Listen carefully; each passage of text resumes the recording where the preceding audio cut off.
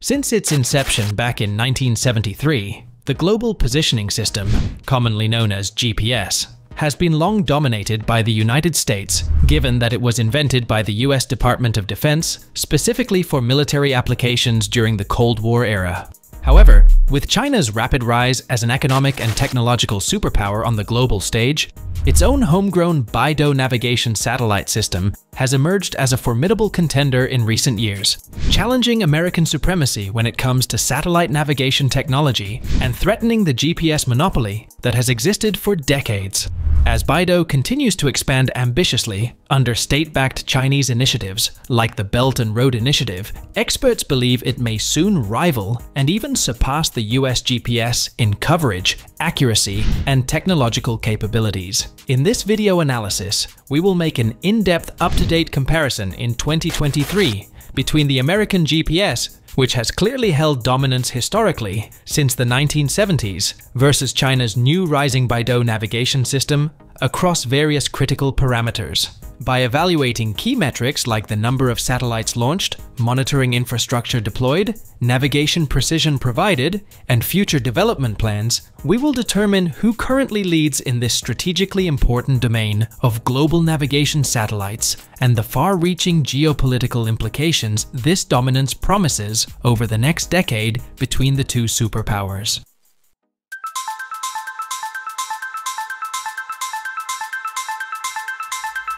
When China first kicked off its BeiDou satellite navigation program in the early 1990s, it was envisioned as a relatively small regional system meant to provide coverage primarily across the Chinese mainland. However, over the past decade, China has greatly expanded the ambitions and scale of the BeiDou positioning system, launching satellites at an unprecedented pace that dwarfs the American GPS program. As of 2023, the BeiDou constellation consists of over 56 medium Earth orbit satellites, nearly twice as many when compared to the 31 satellite GPS system operated by the US. This enormous expansion gives China's BeiDou navigation system much wider and comprehensive coverage, especially across the entire Asia-Pacific region. Compared to GPS with ground stations only in the US, China has installed over 10 times as much monitoring and control infrastructure for BeiDou spread right across Asia, Africa, Latin America, and even Antarctica to bolster performance. With advanced positioning technology and extensive ground support, the reported accuracy of BeiDou signals is now superior to that of GPS by a big margin in Eastern Hemisphere regions far away from American soil. By launching inter-satellite link connectivity between its navigation satellites, China also ensures robust performance for BeiDou even over vast oceanic expanses, where ground station contact is minimal. Such rapid enhancements make it evident that China aims to extend BeiDou coverage globally shortly, positioning it as a true alternative to rivals and outperforming GPS on an international scale beyond just domestic use.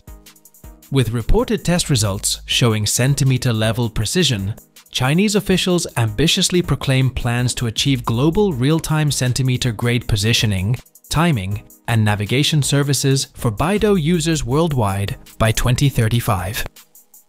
Presenting a direct competitive challenge to displace the American GPS system as the de facto standard in this crucial technology sphere. Owing to China's substantial investments and rapid deployment of cutting-edge technology in its satellites and control systems, the capabilities of the BeiDou navigation system significantly outpaces that of the US GPS in several crucial aspects. By leveraging the latest advances in areas like quantum physics and satellite laser, ranging in its orbital fleet and monitoring stations, BeiDou can reputedly pinpoint a user's location down to a very precise centimeter level of horizontal and vertical accuracy within China itself. In comparison, civilian GPS receivers still struggle to achieve beyond an accuracy figure of a few meters due to technology limitations.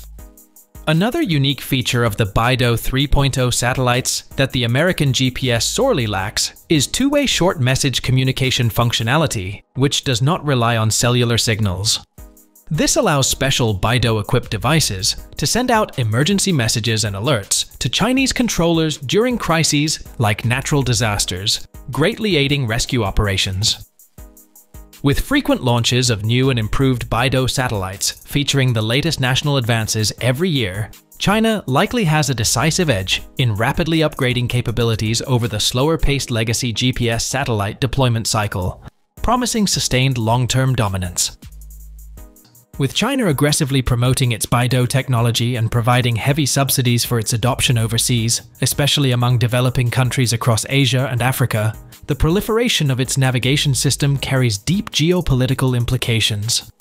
As more countries get reliant on BeiDou for key infrastructure, China gains tremendous soft power advantage and diplomatic influence leveraging the superiority and reliability of its precision technology internationally, while the US risks losing allies.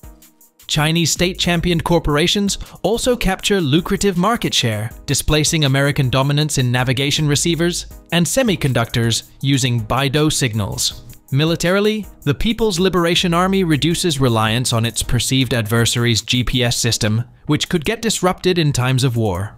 Instead, China can ensure the precision strike capabilities of missiles and ships rely on BeiDou without foreign dependency.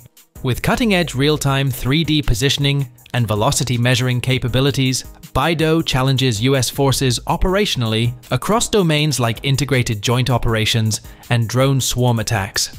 In essence, by scaling BeiDou globally, China aims to undermine American strategic influence, just as GPS technology expanded US hegemony worldwide since the 1980s, heralding a new era of satellite navigation geopolitics in the 21st century, led from Beijing instead of Washington.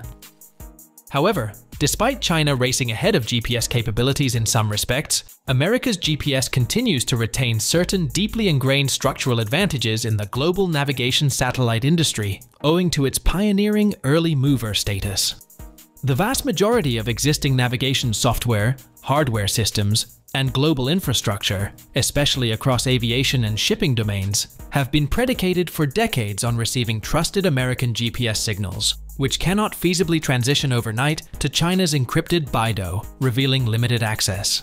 With over 50 years of successful operation enabling innovations like Autoland, GPS also has unparalleled reliability credentials, vital for safety-critical applications. Militarily, the US GPS satellites use advanced selective availability anti-spoofing modules and encryption on dedicated frequencies solely for American forces, promising greater security. Upcoming launches of new L5 band GPS satellites over this decade will incorporate cutting-edge technologies like regional military-grade navigation signals and SAR corrections, substantially boosting location accuracy for civilian usage worldwide and helping retain parity with BeiDou. Thus, while China races ahead on metrics, deep legacy integration disadvantages and American technology might help GPS retain structural advantages. In conclusion, China's BeiDou system has remarkably transformed from its initial humble aspirations as a Chinese regional navigation network to now surpassing the capabilities of the once unchallenged global positioning system of the US in certain key parameters like location accuracy, emergency messaging, and rapid launch capabilities. However, decades of global integration mean GPS continues dominating satellite navigation currently with most existing infrastructure deeply predicated on only receiving its signals. So, while an ambitious technology-leading BeiDou threatens American dominance in isolated metrics, GPS seems poised to retain overall leadership for now, owing to its widespread trusted reputation and legacy ties with military and civilian systems worldwide.